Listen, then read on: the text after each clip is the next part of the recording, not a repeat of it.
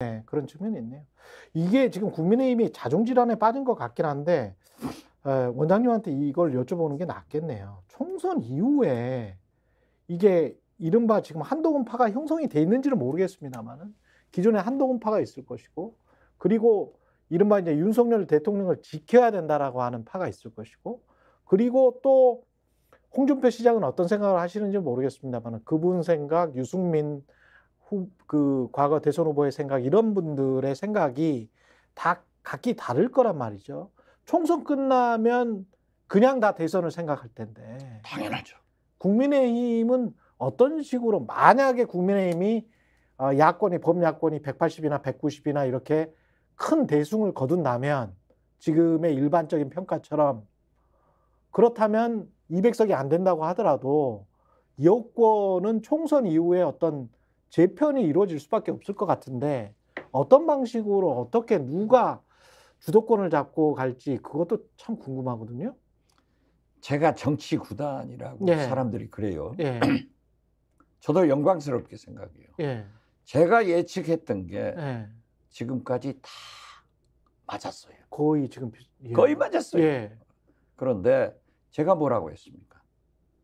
한동훈 비대위원장은 살려면은 음, 윤석열 대통령과 갈등, 싸움을 해야 돼요. 음, 이해창 전 대표처럼 김영삼 대통령을 받아가지고 음. 총리하면서도 받아가지고 대통령 후보가 되잖아요. 예, 그런데 한동훈 비대위원장은 받았다가 그 다음날 또 다 내 책임이다 그렇죠. 하고 배짱이 없어요. 아, 그러니까 아직도 여의도 문법을 모르고 음, 서초동 사투리를 쓰는 거예요. 그러네. 서초동 사투리는 폴더 인사지. 딱 예, 수사했다가 예, 총장이 들렸어 다시 해. 다시 잘 한단 말이에요. 그렇지. 그런데 정치는 그렇게 하는 거예요. 맞습니다. 예, 서초동 사투리는 그겁니다. 그겁니다. 예, 그러니까 그걸 벗어나지 못하고 음, 윤석열 대통령도 당신이 대통령을 제일 잘하고 있다. 음, 이 착각은 검찰총장 생각을 하는 거예요. 예, 내가 명령하면 들어야지. 예, 의사, 의대 정원 2천 명이지 무슨 헛소리야. 예. 또 한동훈. 응? 그래. 음, 내 잘못 없다? 그럼 누구 잘못이야? 하고 야단 쳤는지 안 쳤는지를 모르지만은 그 다음 날 한동훈이 다 내 책임이다. 딱 꿇잖아요. 그 그렇기 때문에 뭐 첫- 저는 예,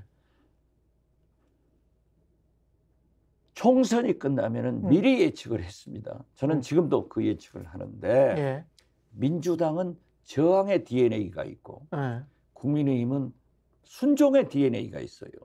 그리고 권력을 기가 막히게 냄새를 맡고 줄을 잘 써요. 예, 그렇기 때문에 저는 총선 후 설사 그런 일이 없겠지만은 국민의힘이 승리한다 하더라도 음, 바로 대선 전국으로 가기 때문에 그럼요. 윤석열 대통령은 험한 꼴 당한다.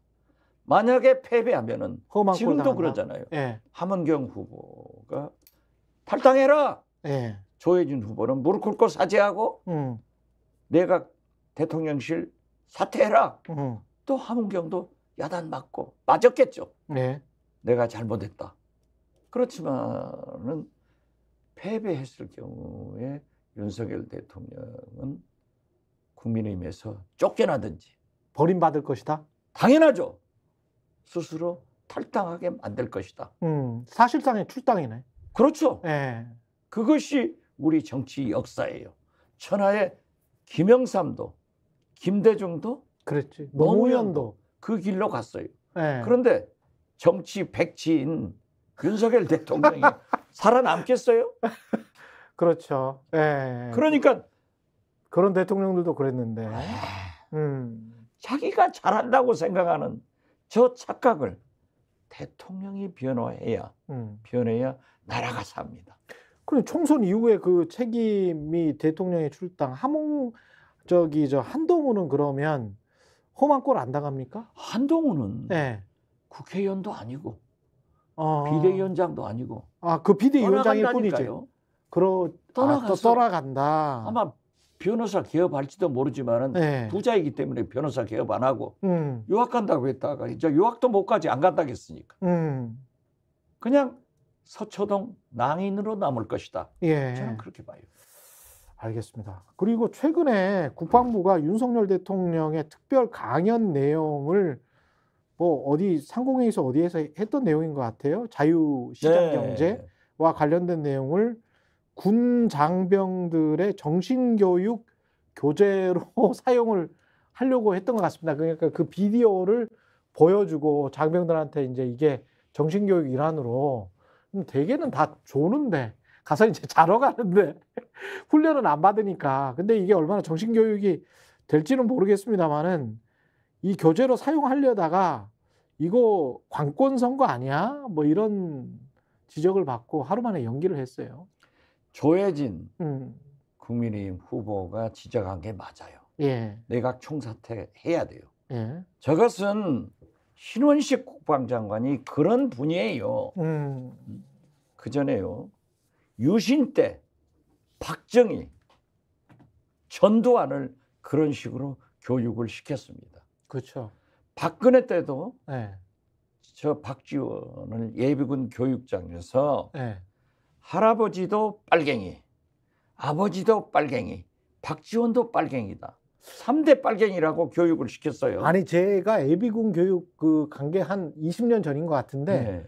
그때도 제가 보기에는 자유민주주의 아닌데 자유민주주의라고 색칠된 그러면서 어 막 색깔론이 더 씌워진 그런 이상한 비디오가 많이 나오더라고요. 그런 짓을 해서 네, 제가 국회에서 현역 국회의원인데 네, 어떻게 경상도 사천에 있는 우리 할아버지 호적을 진도로 내가 세탁할 수 있느냐? 이건 대통령도 못하는 거야.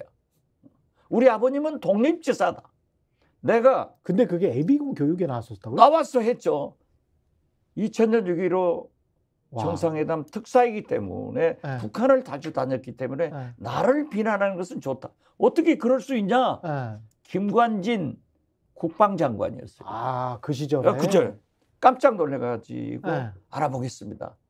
해가지고 다 폐기했다고 이제 안 한다고 그러더라고요. 그래서 저는 김관진 국방장관에 대해서 감사하게 생각해요. 그런데 이번에 네. 신원식 장관. 장- 국방장관이 했을 거예요. 음, 저는 대통령이 대통령실에서 그런 바보 같은 짓은 하지 않는다. 예. 그러니까 이게 총체적으로 보면은 윤석열 정권은 바보들의 행진이 계속되고 있다. 예. 그래서 저는 박정희, 전두환 대통령 때보다도 더 독재 정권이다. 음, 대통령을 우상화하려고 한다. 그런데 다행히 군 내부에서 이건 아닙니다 하는 것을 받아들여 가지고 폐기한 것은 음. 또 연기했다고 그러는데 예. 하지 않은 것은 잘했다. 스픽스는 말하는 언론입니다. 대세는 유튜브, 그중에서 스픽스. 좋아요, 댓글, 구독, 알림 설정. 여러분이 저희를 사랑해 주시고 우리가 여러분을 사랑하는 네 가지 방법입니다.